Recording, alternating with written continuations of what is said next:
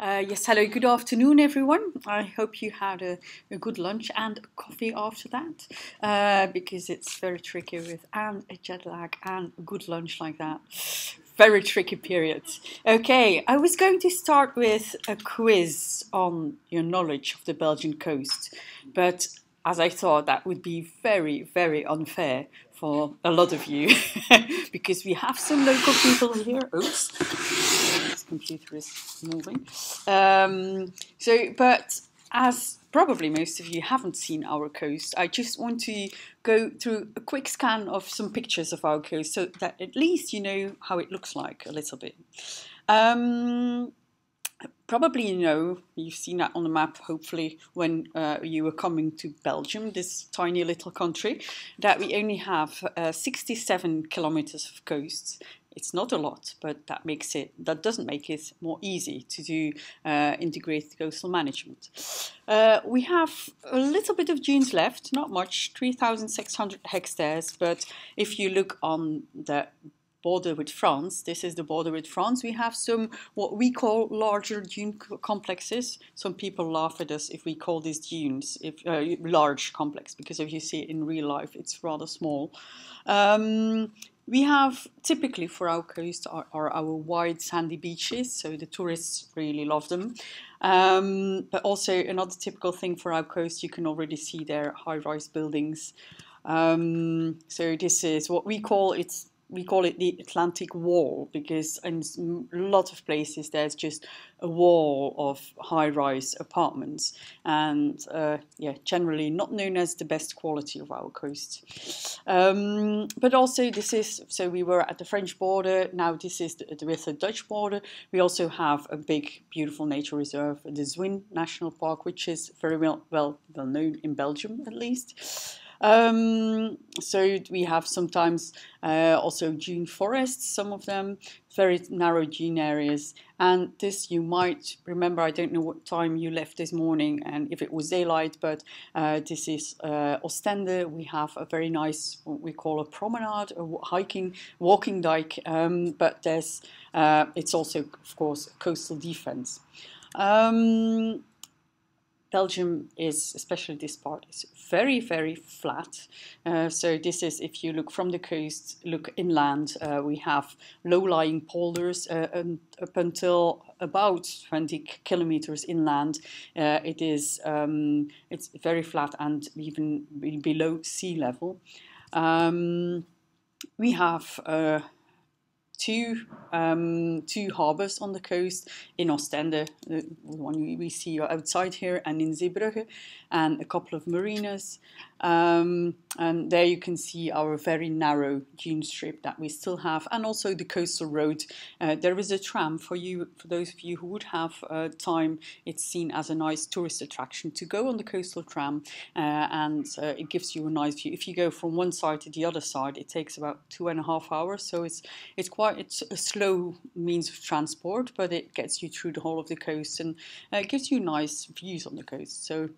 Um, so there's another view where you can see the harbour of Zeebrugge in uh, the the upper left side, uh, the beach uh, and the uh, very flat area behind it, and there is the coastal tram. So and with this Time seems like a nice thing, but also it's it's not so nice for the the coastal ecosystem. We have the tram, but also coastal road that is crossing from one side to the other side of the coast, and of course it's cutting through the dune area.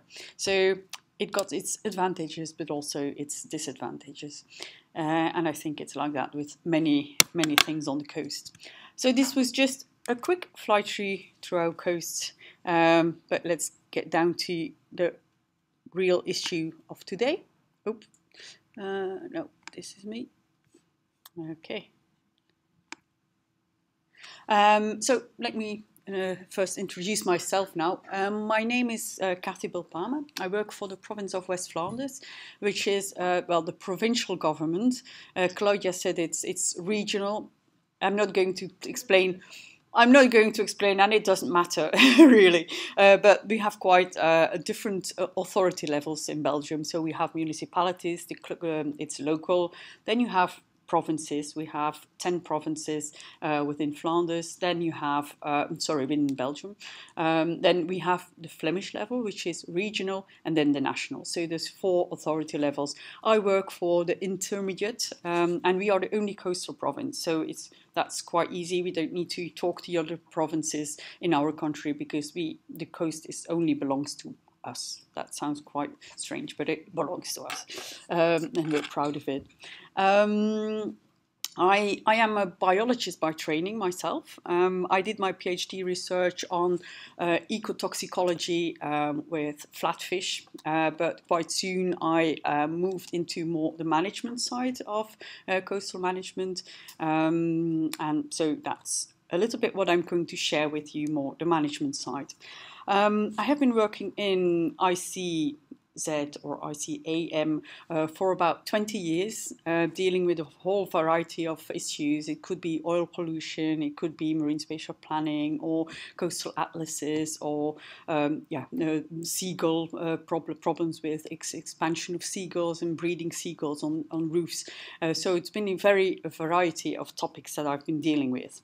Um, the the little unit I was working for before even was called the Coordination Center for Integrated Coastal Zone Management. Um, we are no longer called like that. Um, I'm not going to go into detail on that for the moment, but it might be interesting to look at it later because it describes a bit the, how integration or not integration in collaboration between authority levels works. Um, I will I will talk more on that if we have time at the end uh, of my presentation. Um, so what this introduction is all about is the first learning uh, outcome for this course. Uh, it's about understanding the fundamental aspects of ICZM, IC, uh, ICAM, uh, maybe just this difference. Um, in Europe, we used to speak about integrated coastal zone management. In the later phase, the Z was skipped, and now we talk about ICM, so integrated coastal management. And more in the American uh, literature, they talk about ICAM, so integrate, integrated coastal area management. But basically, it is it is the same. Um, so is the coast special? I was going to ask this question to you uh, and to, to ask you to come up with arguments. But, well, do we actually, some people might say, is this coast special? Do we need special legislation for the coast? Do you need special visions or, I don't know, specific attention for the coast? But I've been listening very carefully to your introductions, uh, which started at 11. And, uh, well, I, I think, I hope that every one of you is sure that the coast is special. Or are there people who say, well, actually, it's just like inland, it's just all the same. We don't need any special attention for the coast? Could be. There were people saying, well, why do you need a minister for the North Sea or why do you need a minister for the coast? There is no. Is there any country which, who has a minister for the coast? No? We could use one actually, if you think about it. But we once had, well, and we still have something like a minister for the North Sea um, that takes all aspects into account. So putting things in an integrated way instead of a minister for energy and a minister for tourism and a minister for I don't know blue economy. But um, so for the coast, we would say yes, the coast is special, and I'm saying this because of the perspective that also Europe took. Maybe just also to say this, I'm going to talk mainly from a European perspective. I know there are people from many different other uh, parts of the world, um, but I was asked to talk about the European context, and that's also what I know best, uh, and about the Belgium situation. Um, but of course, I'm, I'm, sure that some of the principles you will be very easily uh, be able to link it to your own uh, situation at home. Um, so I'm not going to give you a lot of data and figures here why the coast is special. I'm sure you will be seeing uh, loads more, more data uh, in the coming days. Uh, but um, with my first question asking, is the coast special? It was also recognized by the European Commission and by the European Environment Agency that yes, we need special attention for the coasts. Um, when I started started with ICZM, that's about 20 years ago, they also had a special program on mountains. I think um, there was, there was two programs. There was an integrated mountain management program and an integrated coastal zone management. But I think we're the only one left. I don't think the mountain one is there still. Um, so you can see some figures there. Yes, it is important so in terms of the number, uh, the amount of people that live there, uh, on the economical importance, and also on the well, there is the, the, the, volume of foreign trade that is conducted by the sea. So foreign trade that also uh, immediately implies it's important to see this in an international concept. Um, that that definition or that consideration was quite an economical one. This is not the best of slides, but this is just a green screenshot by the Oslo, uh, Oslo and Paris Commission, uh, who analyzed some uh, issues of uh, coastal zones and did their assessment in 2017, uh, looking at many different aspects that some of you have um, also touched upon marine protected area, looking at fishing communities, um, looking at contaminant concentrations, marine litter as a problem. so if we say coast, there are so many different aspects that are very typical for coasts that you don't have anywhere else. And that's why we really need to think about special, uh, special attention for the coast. Uh, and that's why in um, 1996, the European Commission said, okay, we are going to start with um, a special program for the coast, a demonstration program.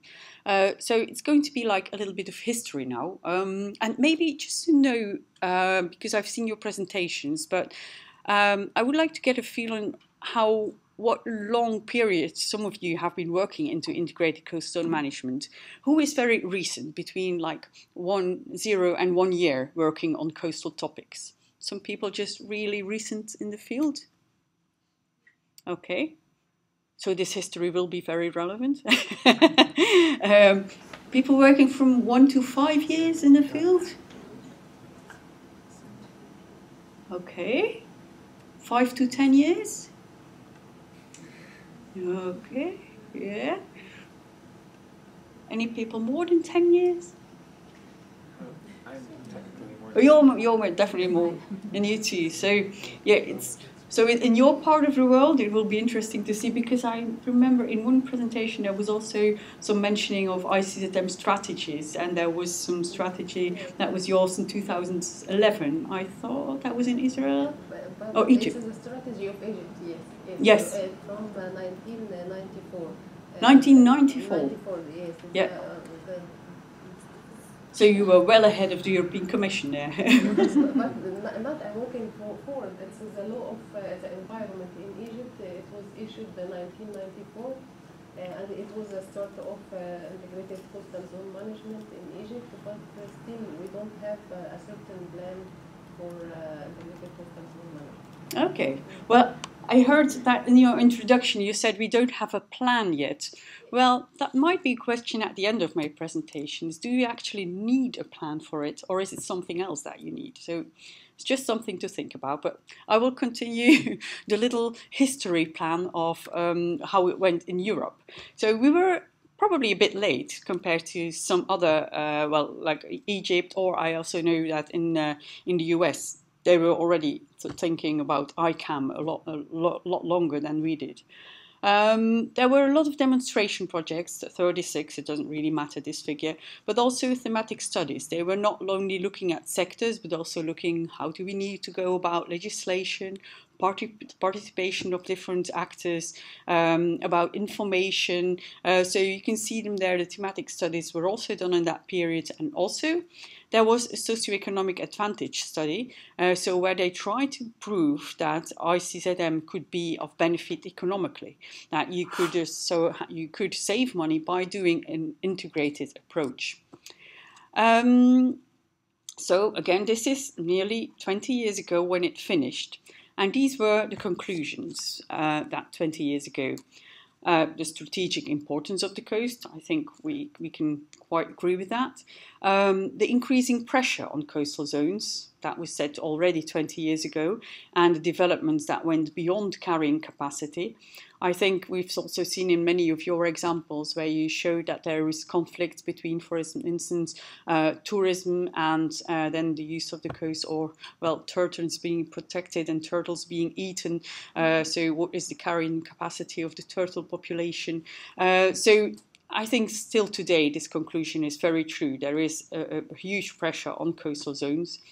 And then the underlying problems uh, they said there was in coastal management there was a lack of vision and a limited understanding of coastal processes, an inadequate involvement of stakeholders, an inappropriate and uncoordinated sectoral legislation and policies, policies, and then also a lack uh, the local initiatives that lack support from the higher uh, administrative levels.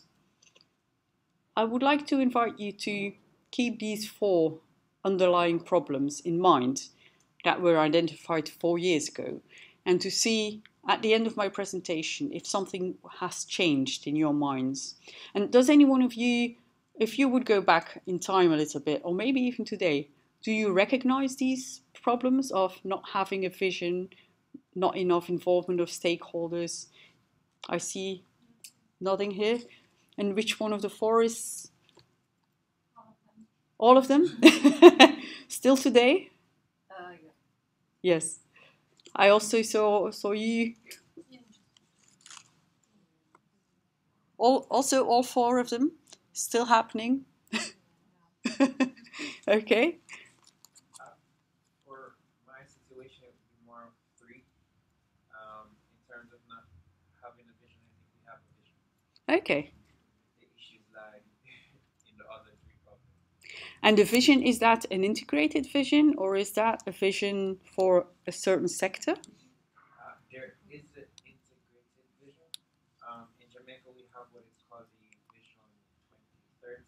Yeah. It's a national um, policy guideline document that is um, aligned to the Sustainable Development Goals.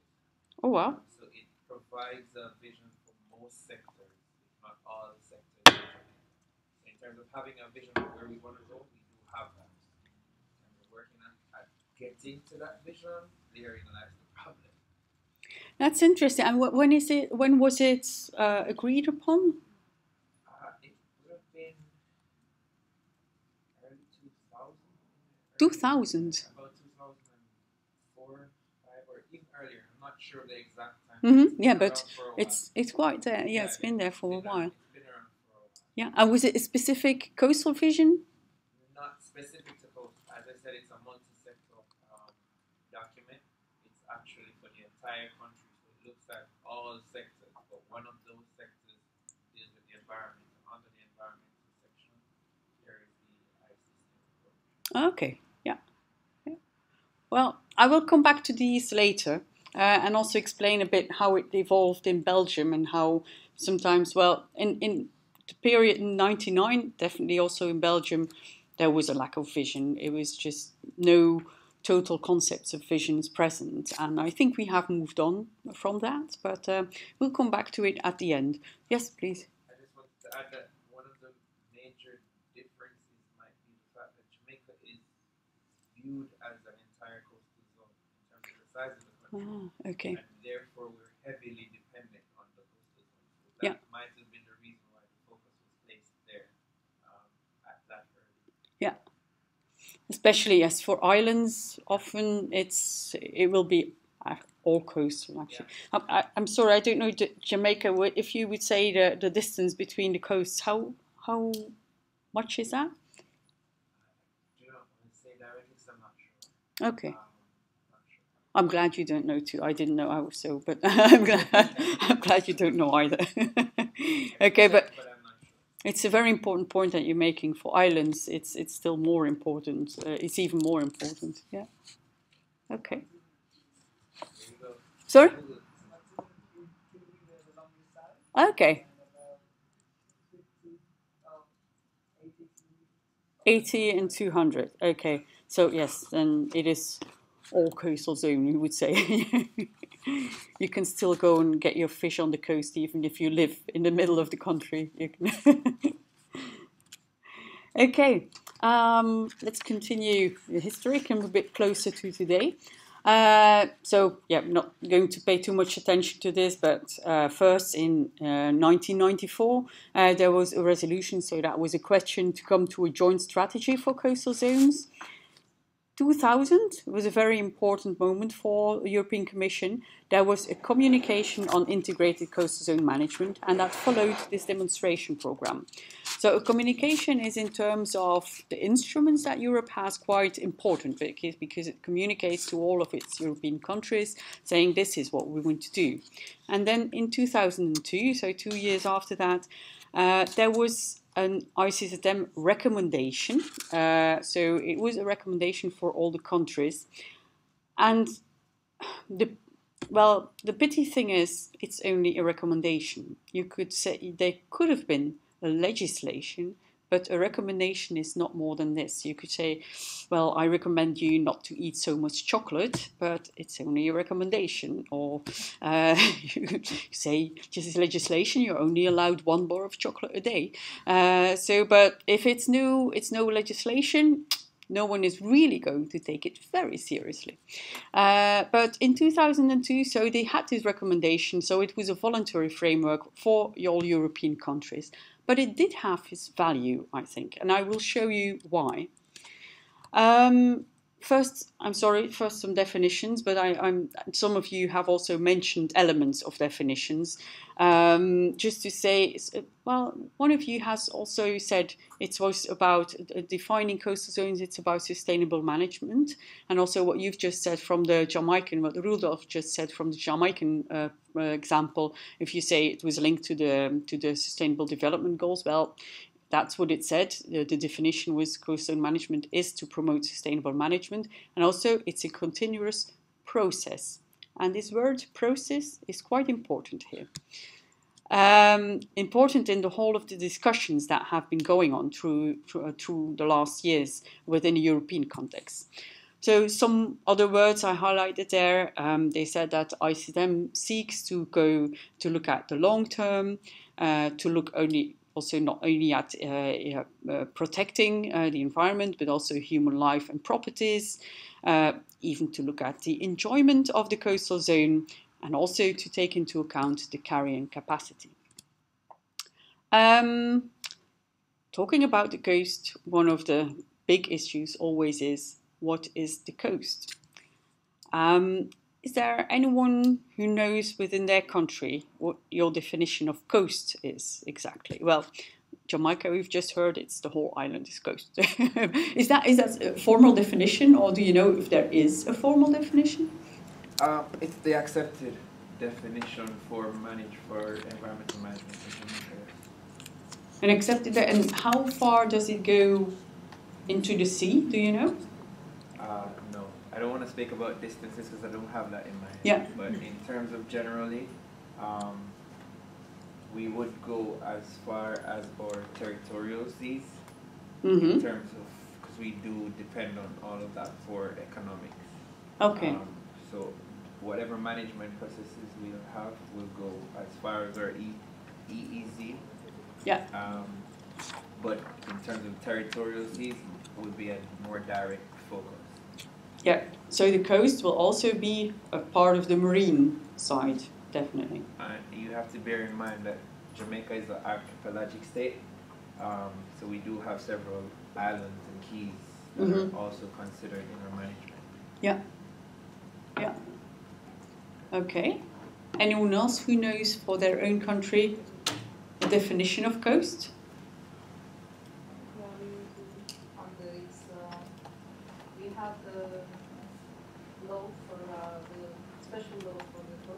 Yeah. They gave the definition, but I cannot tell you exactly, but it includes the marine and also the terrestrial uh, part. And I think in the marine part it goes to the national sea or territorial sea. Yeah. And in the land uh, it depends. It can also include some mountains, the ones that are um, very close to the to the coast.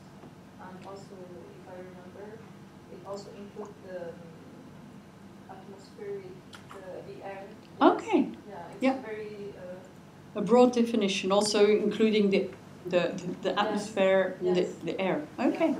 Yeah, and also going down into the water. yes. well, until the seafloor, probably. yeah. Yeah. And can you remind me which country you're from? Algeria. Algeria. Okay. Yeah. Well, it's uh, defining the coast. Well, especially for people dealing with legislation, you can talk about it for years. Some of the projects that I showed you, the demonstration project, they didn't do anything else to talk about the coastal definition for four years. So you can imagine we're not going to do this here, but um, definitely it's it is quite something to think about. And I'll just. Sorry, I'm just going to bring you down to the Belgian coast. Well, probably you've all looked up where you were flying to.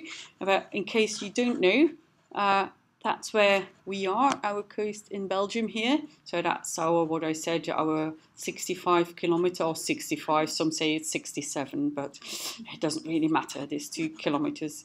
Um, so here is the Netherlands, and from upwards here starts France. And of course, on the other side of the English Channel, we've got the UK.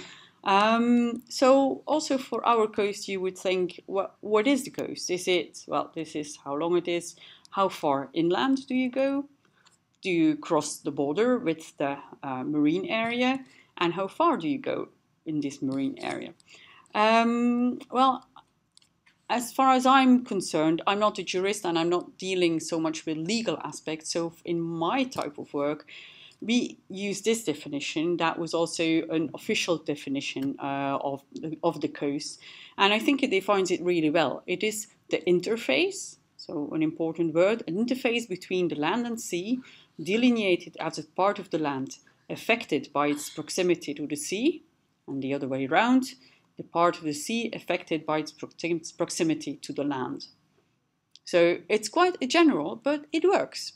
And depending on the topic that we're dealing with, this definition and the area that we're looking at can be quite narrow or it could be very, very wide. If you're talking, for instance, about uh, pollution, water pollution, it could be quite go far going inland because you need to take into account uh, the, the estuary systems, so you need to take this into account. But if we're talking about, um, for instance, um, a management tool for beach bars at the beach, well, my definition of the coast for that specific topic will be only the beach. And it might be stretching onto the, onto the protective dike, but that's it. So depending on the topic we're working with, our definition can be very, very narrow or wide, and you just adjust it. And this description uh, allows very well for that. So I've mentioned this um, recommendation on ICZM. Uh, I just put the official uh, terminology there, so in case if you want to look it up uh, later, you can have a look at it. Uh, but what it did ask to the member states of the Europe Commission, European Commission, um, it asked for a strategic approach to coastal zone management and planning uh, based on a couple of common principles. Um, and in this recommendation, and that's why I said earlier, I think this recommendation was of some value. In this recommendation, um, they've actually, oops, they've actually had eight principles for ICZM, and I'm going to put them up one by one. Um, well, first principle said we need to take a broad thematic and geographic perspective. Second one, we need a long-term perspective a sound knowledge base. We need to look at local specificity, work with national processes, involve all parties concerned, and we need to work on vertical and horizontal integration. Those are the eight ones, and I would like to put you to work with these ones for five minutes. I would like you two by two, you know, most of you are nearly positions two by two, except you two. Could you make a match? I would like to invite you to each of you think about one of these principles and give us an example what it could mean. In you could have your own example that you've got in mind, or you could take totally different example. So I would suggest uh, at the back there, Yasmina and uh, well, the two Belgians, I guess, uh, look at the first one, broad thematic and geographic perspective. So come up with an example on why this could be important and what it means. Then you two take the long-term perspective. Then Rudolf and I can't see your name. I'm sorry. Um, yes, yes. Um, then you take the sound knowledge base. Uh, you two take uh, local specificity. Then for you, it's working with natural processes. For you, it's involving all parties concerned. Then for you to, I'm sorry, I'm behind this this thing. It's in the way. uh, uh, involving all parties. Then I come to you, vertical and horizontal integration. And I come back with you for the first one, broad thematic and geographic perspective, right? Um, I would give you five minutes and just together think about a, a good example for this specific principle, right? Just we start at the far end. Um, do you have an example where you could say, okay, this was a principle of taking a broad thematic and geographic perspective? Um, it was something about uh, the geology, where I, in my case then, um, that we thought that uh, the outflow of the scheldt from uh, sediment that is um, going from yeah, from the river system into the, the North Sea, into the coastal area, it's actually uh, geographic dependent. That it's also actually um, kind of a broad thematic uh, theme, uh, broad actually.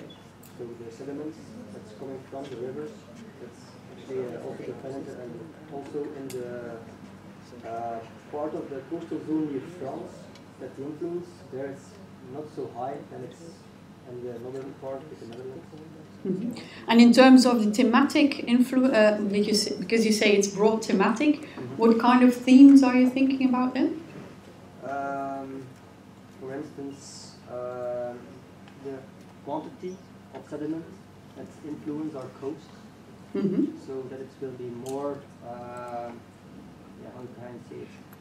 It will be more uh, floggy in our Mhm. coastal zones near the, the, the scheldt than in other regions, like for instance in another country like uh, Jamaica, for instance, but there will be maybe more clear water than in uh, a region where there's a scheldt outflow with a lot of sediment.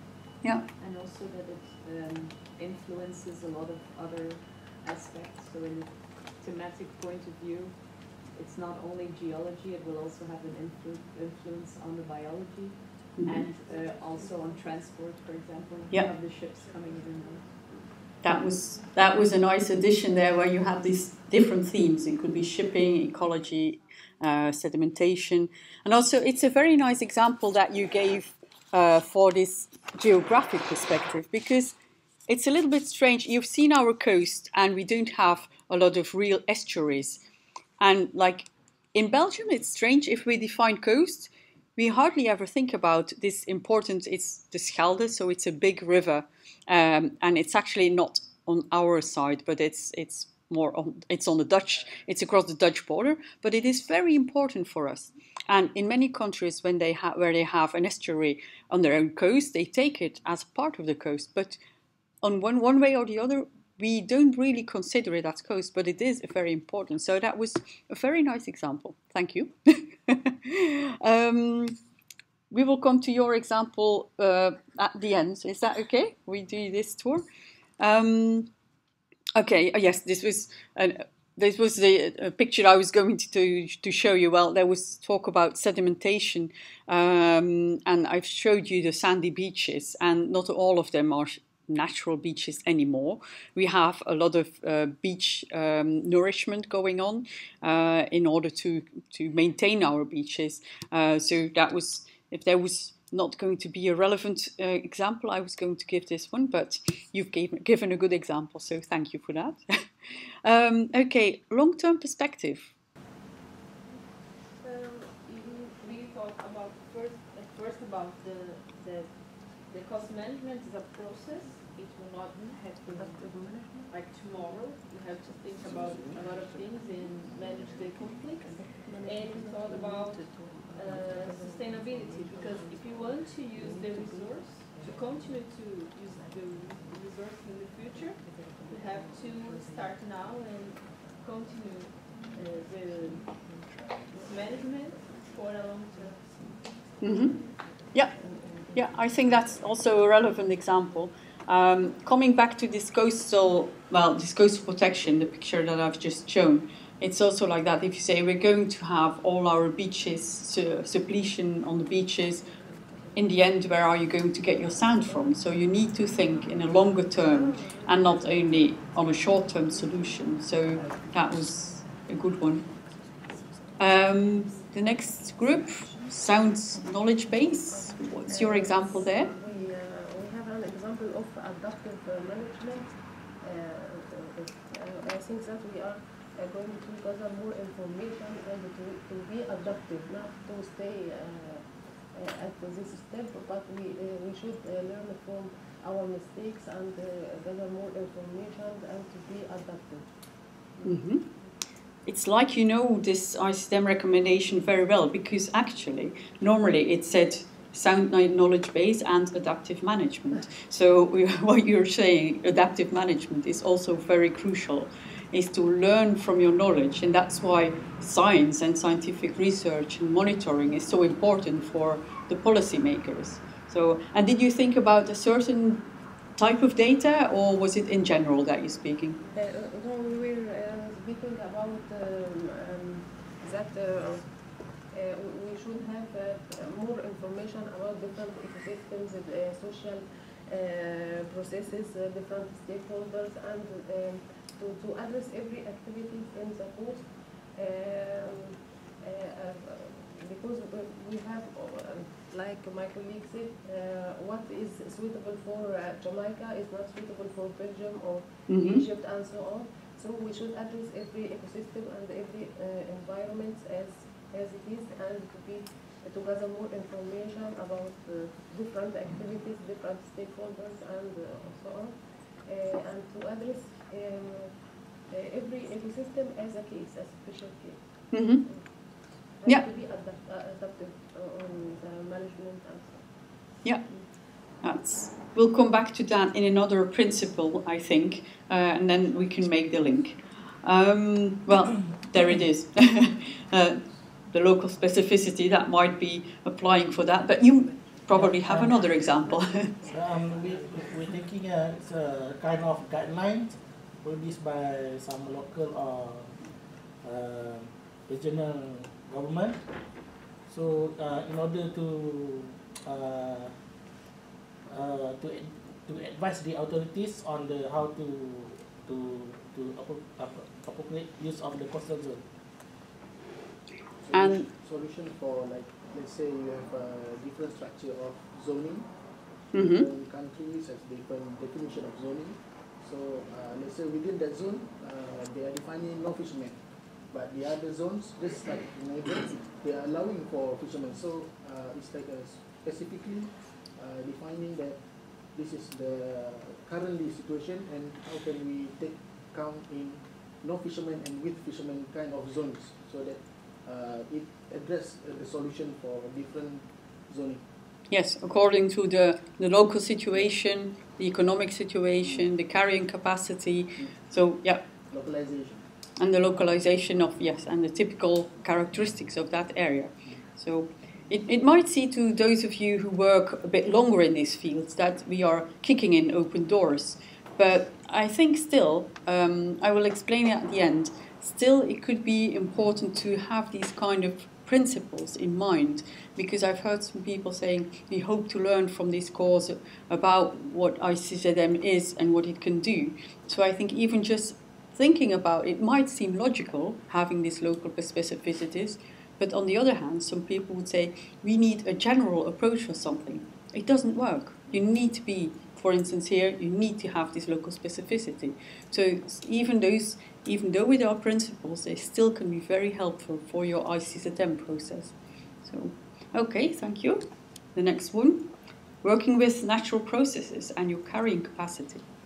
Yeah, um, we were discussing, and most of our natural processes that affect the coastal zone can fall under the umbrella of um, climate change or linked to climate change, such as uh, coastal flooding, um, sargassum, like in the Caribbean, we also have uh, hurricanes and other coastal storms that affect the coastal zone. Um, rising ocean temperatures, uh, which also is linked to algal blooming, um, sea level rise, uh, coastal erosion. So there are a lot of things there that are linked to uh, climate change and some of the solutions which are interconnected to uh, the other principles mentioned so far, uh, effective protective structures, which again relate to adaptive technologies and uh, mitigative strategies, um, building solutions, building solutions and settling policies, which zones you should or should not um, settle in. So I think It's uh, very difficult to control climate change, I think. And uh, first of all, I think uh, we should uh, decrease uh, uh, emission of methane, black carbon, etc. Because this uh, greenhouse gases affect on melting Arctic and Antarctic ice melting. So I think it's very difficult to, to control climate change changes, but we should uh, maybe um, uh, pro- propagate to policymaker uh, reduce these uh, uh, uh, gases and maybe like this we could affect on this, but it's very um, difficult to do this. Hmm Because I know in uh, Antarctic even one degree uh, caused on Antarctic ecosystems because uh, sea urchins uh, uh, have uh, bad fertility even if water is warmed even one degree. So it's very vul- vulnerable. Uh, and I think it's every coastal zone has uh, this uh, mm, ecosystem that uh, not uh, feel very very good. Yeah, they're vulnerable Yeah. to the climate change. Yeah, definitely. Uh, that's that's also true that climate change will affect the coastal areas very much. And it's funny that you take these examples from, and it's logical also that you take these examples from climate change because now climate change is a topic that's really high on the agenda. Not not everywhere, I but that- yes, I know that uh, last 50 years uh, in Antarctica we have uh, uh, mm, increasing temperature 1.5 degree, Mhm. and uh, in Arctic it's even uh, 6 degree. six. so, yeah. so it's very Mhm. very fast. It's definitely something to take into account when you say about carrying capacity of things. Um, but what, why I'm saying it's funny because like when the recommendation was there, like 20 years ago, climate change, eh, we spoke about it, but it was not no, so high on the agenda. So um, for now it is, but then they thought more about like um, carrying capacity, also the number of fishermen, for instance, uh, depleting a fish stock. Uh, or carrying capacity could also be the number of tourists that you have on a beach. That tourism management has also been mentioned in your introductions. So carrying capacity could also come down to this, or how to manage um, a human activity uh, on a natural system. Uh, and that's also why it is linked to this principle of taking natural processes into account with the impact of human activities. Okay, thank you. Um, involving all parties. So for our case, we define parties as stakeholders, and we identified three different types of stakeholders who can be involved in ICZM.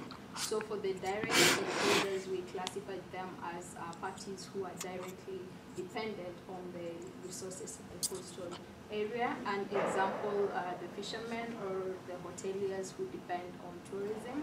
And for the indirect stakeholders, we identified them as, um, for example, governmental organizations or non-governmental organizations who are not directly dependent on the coastal zone but are interested in managing this area.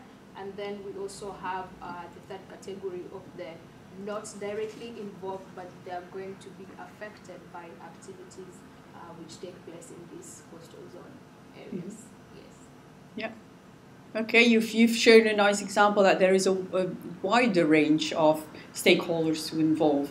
And that's one of the advice they always give if you start with a project. Make a stakeholder analysis. Look at your people who are there, and sometimes you can make it even yeah, more deep, but going into more detail on, what influence your stakeholders have, if they have a good or bad in, um, influence, if they have a high or low interest. But in identifying your stakeholders is very important, and indeed the parties were the stakeholders, and to involve them in your process again is one of those principles. I'll come from behind this. Yeah. I shouldn't move too much, otherwise I'm not in the camera. So. And because of this, you gave us the same one. Because Oh. the one you gave it to those. oh, really? Yes. Okay. Well, I'm curious to hear about your stakeholders then. But we just, I don't know if you mentioned it, but we have uh, some other stakeholders. Yes. actually. For example, uh, military is involved also directly with, uh, for example, with the. And also uh, we have the um, uh, marine traffic. And uh, we said here uh, the aquaculture farmer or uh, company. So just adding some stakeholders. Yeah. You gave them the last one. Uh, okay, I'm, I'm really sorry. No. But in military, is this something that you are dealing with in your country specifically? Yes, uh, because um, uh, we, we need them, for example, we have an association, it's the APAL. Uh, it's uh, related directly with the military that they, for example, they give us topography. We are the only one who have the, The maps, we yeah. the maps and they produce it for all the institute in the country. Don't Okay. have the exact one, only with the military uh. Yeah. And it's not that the military have a lot of um, areas on the coast that they use and a lot of areas. yes. Have, I think, four or five protected areas because uh, it's a forbidden. So if you say protected, it's not protected for nature, but protected for the Uh, military. Yes, we have protected for military Okay. and we have protected for nature. okay. Both of them. And are they together or? No, no, no. No. It could be. Sometimes it's the same. Yes. It's, uh, uh, since it's protected for military, it's safe because nobody will gonna. That's it. there. Well, it depends what the military does there. It's have those problems. yeah. Yeah, but we have a zone like this where the military have a shooting range, and it's also a, a, a no-go zone. But it's uh, one is inside the country, not in the islands. okay. So I'm coming to you for the vertical and horizontal integration.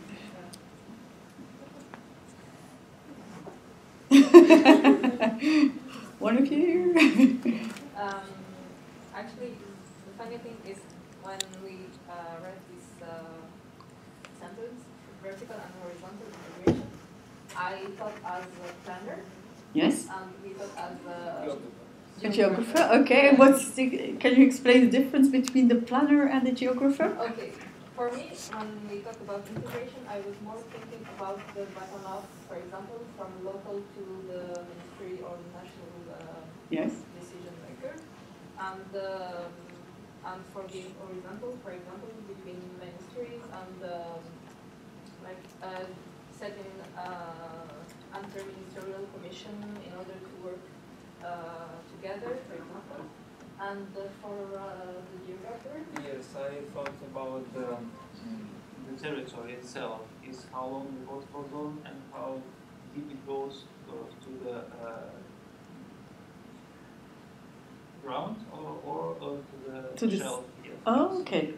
Yeah.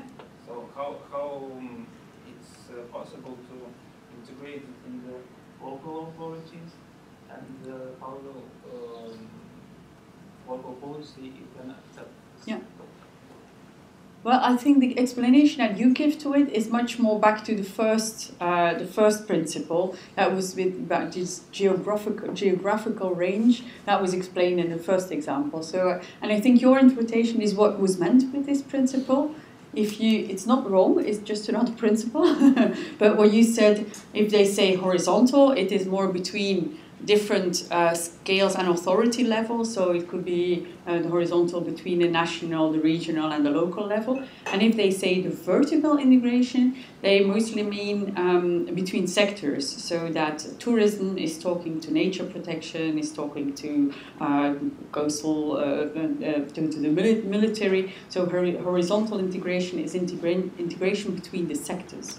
So. Um, and would you like to share uh, an example on the first principle with us?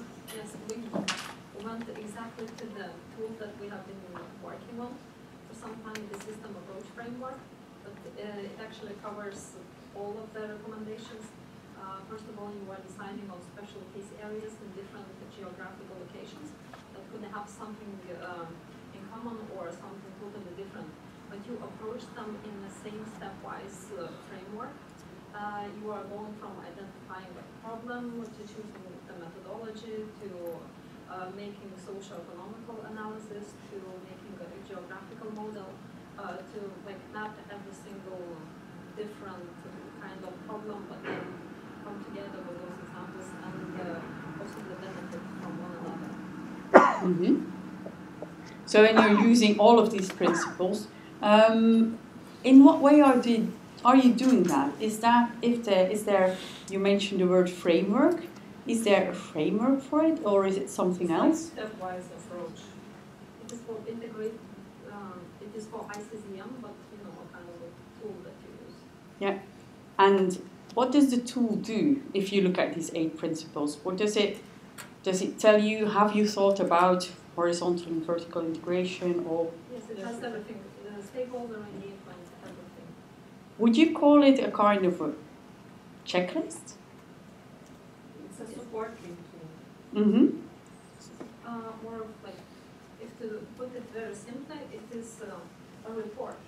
Mm-hmm. You're filling every step and then yeah. you follow that you have done everything, so it can be a checklist but with a lot of descriptions. Yes, yeah, with a lot of information behind your answer. Okay. Um, well, that was my next point that I was going to say um, is that how do you use these principles? Uh, I remember someone said, I'm looking for like a big ICZM plan.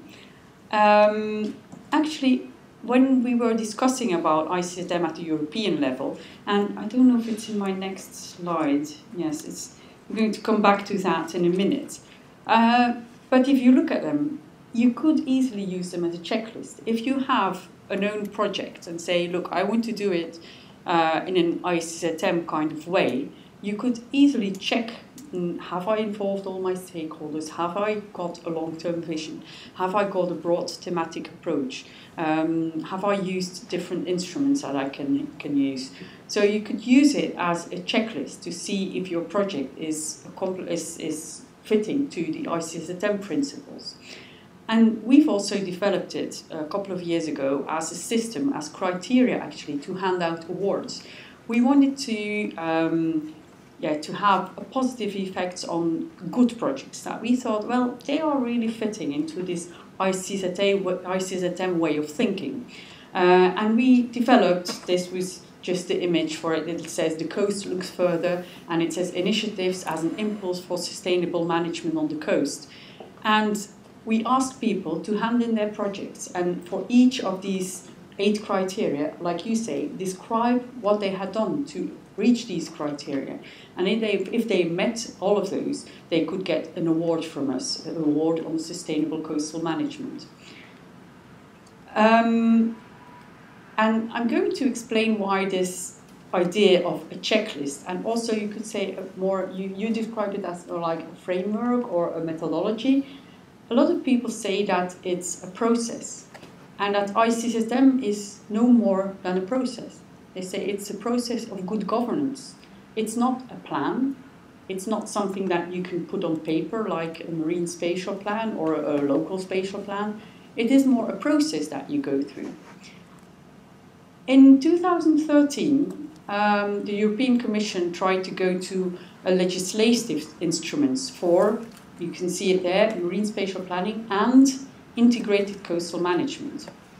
You remember we had a recommendation uh, a recommendation is good, but you could see that not all countries were really working on ICZM as the European Commission wanted to. So they said in 2013, let's look for an, if we can some, make something more binding, that they are obliged to do it. So they started in 2013 this process to make a directive, and a directive is a binding instrument. You're obliged to do it in Europe. Um, but um, I'm going to go back to this slide first. But well, after a whole lot of discussions, so, so in Europe, it's discussed with all the member states if you want to have this as a directive. Uh, and the end result of more than a year of discussions was that integrated coastal management was deleted from the text and it was not to be found there anymore. And why was that?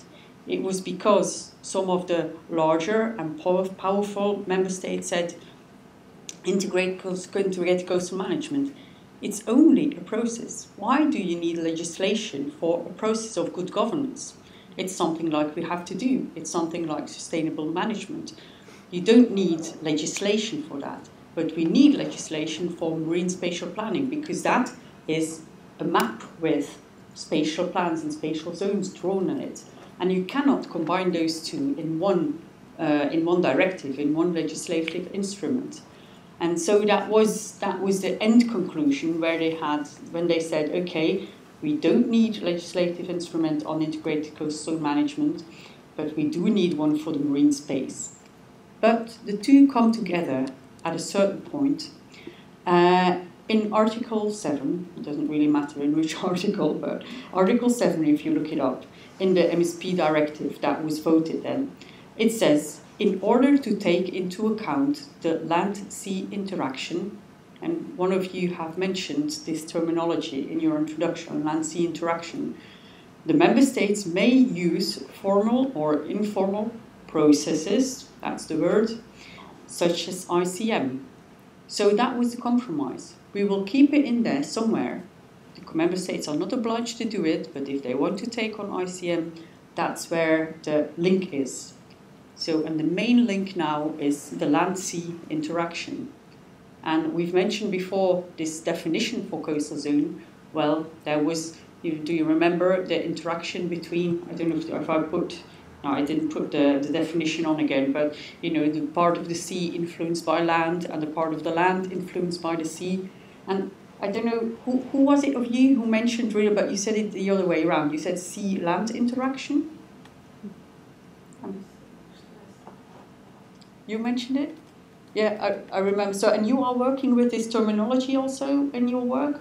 Land sea interaction? Yeah. So it makes total sense. yeah, just it was this wording, that I, I understand that. Yeah. Um, so there is, it's, it's a bit strange. I think for many of you, it might seem very logical, and also from your examples, that there is an interaction between land and sea, and that we have to take this into consideration. Uh, as just one example, there was a couple of weeks ago, there was a large whale, very exceptional for our coast, a large whale floating in front of our coast. So that was a typical sea thing. But then after that, the whale was beached, it was washed, ashore, so it became a land thing. And then, in the next step, they wanted to get rid of the animal, and no one wanted the animal because there were high costs to, to take it away from the beach. And that's a typical land sea interaction thing. It starts at the sea and it ends on the land. But it's like that for many many topics, and it's like that in many of your examples. We've seen the seaweed example, uh, sea turtle example, um, but also coastal coastal protection is one of these typical oil pollution, uh, even harbor development. So for many of these things, the land-sea interaction is a typical thing for our coasts. Uh, yeah, there's the example of um, beach litter, which we've also worked on. And oh, here it is again, my definition you know, where we remember to make this link between land and sea and the other way around. Um, I'm going to, well, it's, yeah, I'm going to uh, give you a couple of conclusions of um, a conference that was organized last year uh, by the Marine Spatial Planning Platform of Europe. Um, no one really knew what to do with this uh, integration of land and sea. Um, because most of the things, it's always either sea or either landwards. And a lot of the legislation, a lot of how we are structured in the terms of how your departments are structured, how your country is structured, it's either you're dealing with the seaside, either you're dealing with the land side. But it's very difficult to find something that's dealing with both of them. So the Marine Spatial Planning Platform organized a conference and asked uh, to uh, a lot of member states to share their uh, experience. Um, just a question also: Is there how is it in your countries? Is there someone who has um, an example where there's an institute who's dealing with the marine side and the land side, or is it everywhere that it's dealing with? You know, you've got a border there, you've got the coastline, and one is dealing with the water, the other is dealing with the land. Or are there examples where they do both? Jamaica? uh, we have one agency with, with complete responsibility for the entire island, and that includes marine and that includes marine and terrestrial. Yeah. So it, it does environmental management and planning at the same time. Okay. Also planning of the marine side. Marine and land. So it's and it's total environment and total planning as it relates to space. Yeah. Yeah. I think we should more look at examples of the island states because we could learn from that. It's, I think for island states, and like you say, you have a lot of archipelago, it's something that you need. It's just a very logical way of thinking, probably, but not for countries that have just only a smaller coast or part of the coast. Yeah. You were going to add something? I was going to say the drawback to it, however, is that we have several other companies or agencies that has responsibility for aspects. So it's kind of messy that you have one company that does everything and then sectorial companies and then there's a struggle as to who has the real final say on what happens. So we still have problems in the good example. So the one that's doing the total has not got, uh, he cannot say something about the others. Uh, um, technically, from a legislative point of view, the one that has total governance has the laws um, supporting its role. However, okay. from a political standpoint, there are other companies that have a say. Okay. And could you give some examples of those thematic, um, like you call companies or departments? Or okay. Is, is um, it like tourism? Say for, say for example, well, I work for the National Environment and Planning Agency, which is the agency with oversight. Um, but we have a fisheries department mm-hmm. that there is an overlap because while we will do the management of marine ecosystem and marine and coastal ecosystems, they deal with the fishery itself. Yeah. So that's kind of a gray area as to who has that final decision. When you're talking about the habitat versus the users of the habitat. And that's one example of where one of the problems lie. Mm-hmm. Yeah, I understand. You were going to give a.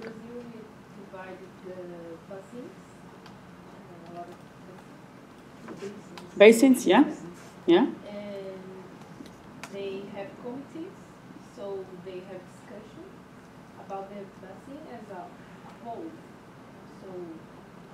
Probably what's happening in the head of the sea will reach the, the beach, for example. So mm -hmm. they have this, this discussion and the social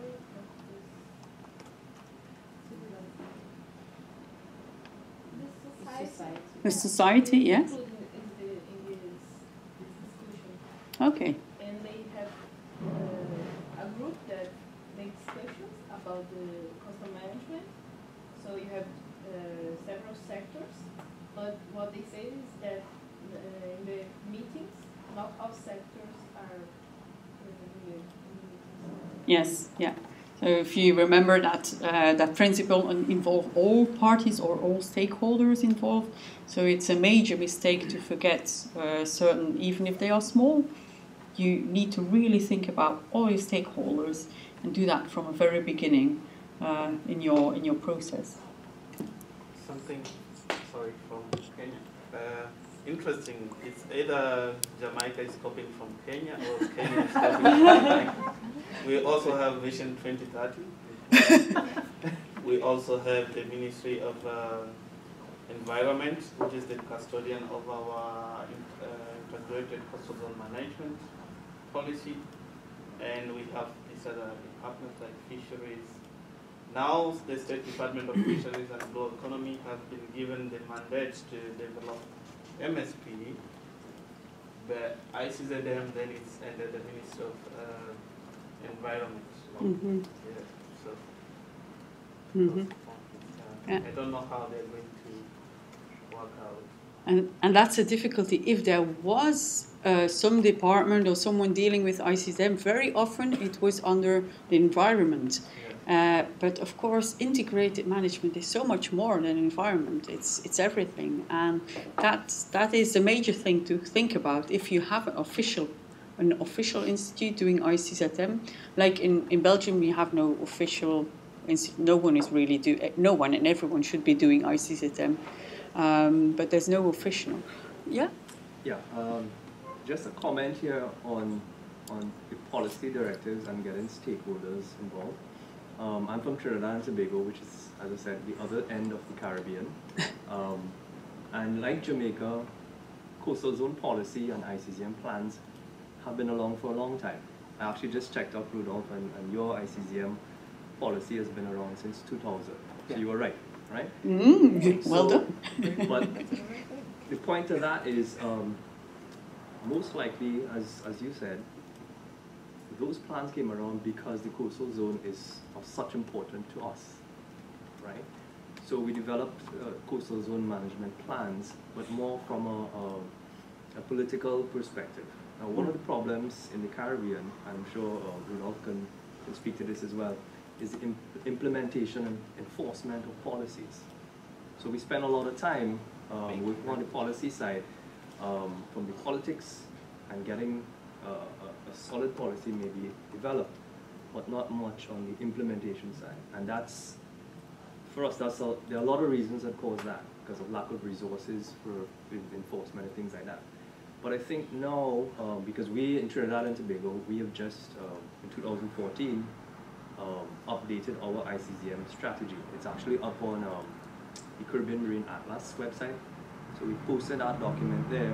Um, so it's a policy with certain objectives identified, and one of those updated objectives is getting more stakeholders involved in the process, Mhm. not just in the policy development, but also in the implementation side of it. Because oftentimes we've been hamstrung by uh, just developing a policy or legislation, but we can't get that enforced, right? Because of resources on the, political side of it. But if we find um, we have stakeholder consultation where the users themselves, more of the users involved in the education or the stakeholder meetings, and we can translate the impact to them, Mm-hmm.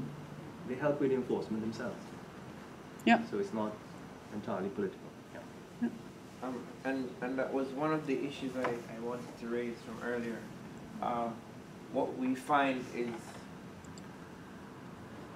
during the adaptation of the policies or the enforcement, the actual process isn't followed, if you understand what I'm saying. What I'm trying to get is you come to the public or the end users of the product at the end of a policy decision. So we'll sit at the desk internally and we'll create the policy and then we come and advise the Mhm. public rather than have them integrated into the planning. So what you find is at that point when you come with this nice plan as to what you're gonna do, the end users aren't in agreement with it. Yeah. And that's when you find that breakdown in actually enforcing. So one of the important things to do is at the planning stage, or the, or at least at an early stage in your Earlier, policy um, construction, you need to get all the stakeholders, and that includes the locals and all end users of your policy, in order for it to actually work.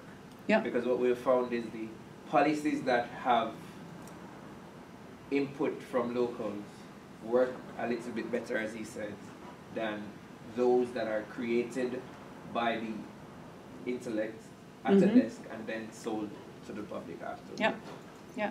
I think I showed you this this impact assessment on the socioeconomic benefits of ICZM, and there were a lot of examples from there where you have information from fishermen or from local people who know the situation. It can be very valuable uh, and save you costs uh, at the end of your process. And also, an instrument mentioned very often uh, within um, the, the ICM is the in, is um, environmental impact assessment because within the process of environmental impact assessment, you are obliged to have this public consultation in an earlier phase. Um, well, definitely in, in the European countries, it's, but I think it's, it must be similar elsewhere, where you have from a very early stage an obligation to involve people. Uh, so that's very often mentioned as an instrument that can just support you. It's an environmental impact assessment for the coast, um, but it could apply for another uh, case study. Yes? Add to that, I think what you mentioned is what we, for example, try to do in our project. Um, and it is definitely really important. The problem that you face in those phases, I think, is getting people excited to participate. Like there's a lack of, um, I don't, I can't come up with the word, but like um, initiative of certain uh, stakeholder groups that don't stand up to, like the events are being like publicized to everyone. Everyone has the right to come there and participate and everything.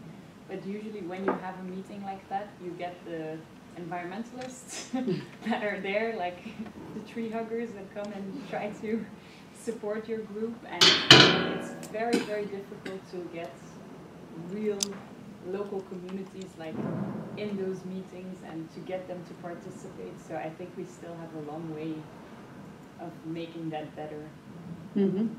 Because I don't know what it's like in your regions, but we have a lot of yeah people also with uh, less like they're less educated, so they don't feel like they have the right to speak up or to get involved, and then so it's really hard to get them to participate. There are a lot of different tools out there to, to use for participation. Indeed, also of those people who are not organized in a group or who don't have this loud voice. Uh, and it's very important, like you say, not to only listen, listen to the loud, the ones shouting out loud, Mhm. but to everyone. Uh, there was another comment there, yes? I just want to add uh, regarding the legislative parties. Mostly, uh, I did ask during one of the symposium to the lawmaker, is it uh, when we make a policy after an incident or before an incident?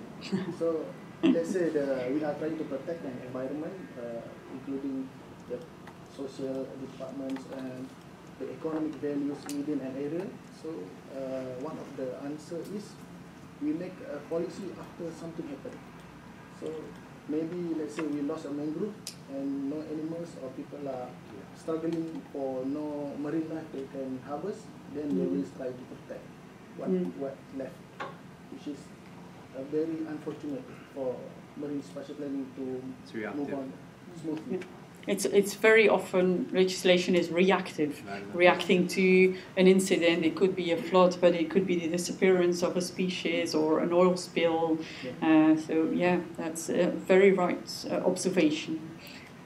Um, I just wanted to add to the Brazilian, um, the Brazilian point. Uh, one of the shortcomings and something that we have to look at when it comes on to stakeholder consultation for ICZM um, is the fact that some of the times these meetings are held um, in areas or spaces that are out of reach for the local people. Mhm.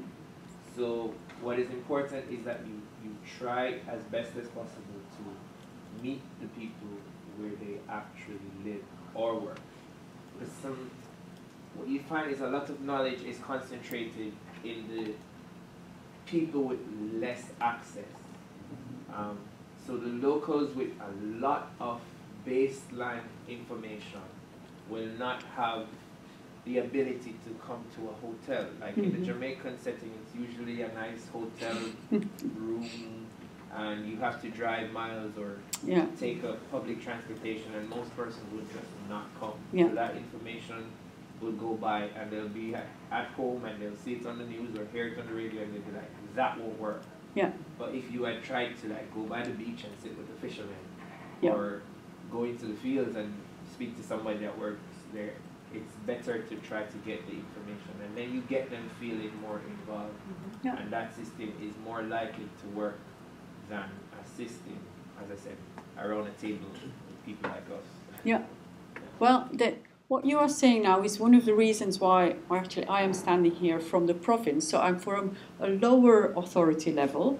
Uh, some people might think that's strange. I'm not from the national authority level, but that's we are requested by the national authority to do the stakeholder participation for them because we have our office here in Ostende. We, my colleagues, so I have a team of colleagues. One of my colleagues, he knows all the fishermen. He knows where to go to if we want to know what they're thinking. We have someone working on the tourism business. We have someone think, someone working specifically on spatial planning. So, but we know all the mayors. We know we know the local organizations. We know the local stakeholders. And our national government is asking us, could you please do this stakeholder participation for us because we, we, we live in Brussels and we our offices are in Brussels and uh, we, we don't know even who to invite. So it is very important indeed to work with, uh, uh, but uh, so that's uh, maybe an important role for an intermediate um, intermediate uh, authority level. But well, they want to get rid of us in Belgium of the provinces. That's an inside joke for the for the Belgians. they think we we should not be there anymore, the provinces. But I think it's still if you have a level in between there to, to talk, like you say, know the local people and listen to the local people and have meetings here in a, in the fisherman's cafe uh, and or, or on the beach or wherever. Um, so yeah, um, I'll just move on. Um, there's a couple of more, a couple of um, messages I wanted to uh, finish off with. Um, and the first one is integration in the mines. I, I think with you guys, we're okay in integrating things, but um, integrating, I mean integrating land and sea interaction. But still, I am sometimes very shocked with some people who have been working on the coast for a long time that they don't make this link between land and sea. Just one example, I was asked to to guide a process on making the marine spatial plan for Belgium. That was last year. And one of our chairmen, he was a professor at a university. I'm not going to name to do to mention his name, but he's a very well-known professor all over the world. And we, he was chairing this session, and we were talking about wind farms at sea. And one of the participants, he said, "Yes, but if you bring your electricity cables on land, where will you do this, and what will the impact be?" And the chairman, he said. We are not talking about land planning here. Please keep your mind to the sea. We're talking about windmills at sea. And I was so shocked. He's a professor, has been working for 40 years in, in coastal and marine affairs, and he didn't want to discuss this. And I was so, I was so shocked. Um, and this, that, that's why I want to mention this anecdote because so many people are still making a separation between those two. So this is an, an invitation to you in your work, um, whatever you do, always make the link between the two. And with the pictures I've put up there, uh, the one on the right-hand side with this little donut shape or whatever well, shape you want to use it to name it, it's to show that our coastal municipalities, like the mayors, they always thought that well, what's happening at sea, it's not for us, we shouldn't be involved, it's we are involved in things to do with our beaches, but not what's happening at sea. But until someone proposed to make a kind of an island in front of their coast, very close to the shore. And then they were like, oh, wait, this is going to come in front of my coast. Hmm, I want to have a say about this. And that's quite recent, a couple of years ago. And now this year we had our next public consultation on a marine spatial plan. And all the local mayors, they were very much awake. We didn't need a lot of processes to make them aware that there was a new spatial plan coming they were there and they were paying attention to it. Also paying attention to windmills that where they were coming, islands where they, were, they would be coming, and so they were very active in the public consultation procedure. Um, so it's it's another example how people, if it's happening in front of their coasts, they, they will be awake. And like the, the picture below that was our minister for the North Sea. He was explaining about the windmills, how far, how small they would look if you if they are far out in the sea. That they will only look this small when you look at them. Uh, and people were happy he did not decide them to put them very close to the coast. What was the first plan? And then uh, another example, I'm not going to talk about this, but I'm going to show you this picture, and someone in the room will recognize what this is. but I, I think very little other people recognize the, the lower uh, back picture. Um, in my title, I read integration in the maps. And um, when I saw, I forgot your name, I'm sorry, what's your uh, name? Lars. Lars. Lars, yeah. When I saw Lars, his first picture, I said, look, he's doing it. But then you made it all good in the next, following your presentation because this little picture, it's the our Belgian continental shelf. And this is our marine part.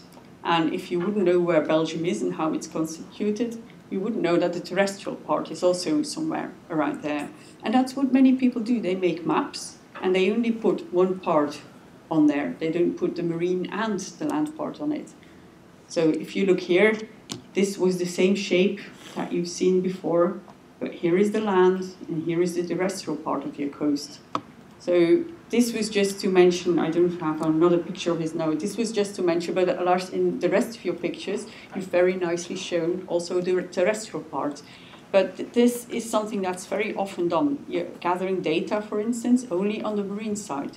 But if you gather data, it's important to also look at not, not only economical data or biological data for the marine side, but also look at what's on the terrestrial side of it. But I've seen in many of your examples that you are looking at this, so that was very nice to see. Uh, Lars? Probably the first picture was because it was uh, MSFD. Oh, yes. It was not uh, yeah. the land part because it's another directive actually. Yeah, and that's the thing, the legislation. So MSFD means Marine Strategy Framework Directive. Yeah. So marine, it's only the marine part. And that's where it's a pity, but a lot of and governments. Water uh, framework directive or something. And water framework directive, yeah. Close to the, the coast actually. But also the marine spatial plan, it will only show this part of the water side. It will never have what's happening on land in terms of spatial planning. And it should be so logical to link the two. But why is it not so logical? Why don't they show it? Because our the way our legislation is uh, in Belgium and in many other uh, countries is that one department is responsible for the seaside, the other is responsible for the land side, uh, and we cannot show each uh, a map in a certain legislation about the other side. So that's why this plea, if, if, if you as, as a researcher or even if you're working within a government, always try to make the link between those two. If you're gathering data, if you're talking about, try and make the link to what's happening at sea and on land. Um, so, and I'm looking at the time, we should finish off here. I promised to show this slide again uh, at the end. Uh, so the lessons learned from the demonstration program. Um, I leave it for you to reflect on it. I, I think I've, I've heard very interesting elements on how it goes in your country. Um, and I must say that in Belgium, this first thing about having a vision definitely for some sectors has improved a lot and also on all the other aspects I think from 20 years ago, we've moved onwards a lot within Belgium of uh, having a better approach to integrated coastal management, although we don't have official legislation for it or an official institute. Um, but um, we are considered a bit as the experts on ICZM uh, because we are somewhere in between this uh, national level and local level and very active on the coast with our stakeholders. So, and it might be interesting for all of you to talk about these things if it has happened in your country, if you've moved on, or if you can learn from each other. I'm very sorry actually that I cannot stay um, for the rest of the week, but um, I unfortunately don't have the time. Uh, but uh, I, I thank you for listening, and I hope this was useful as an introduction for the rest of the week. Okay.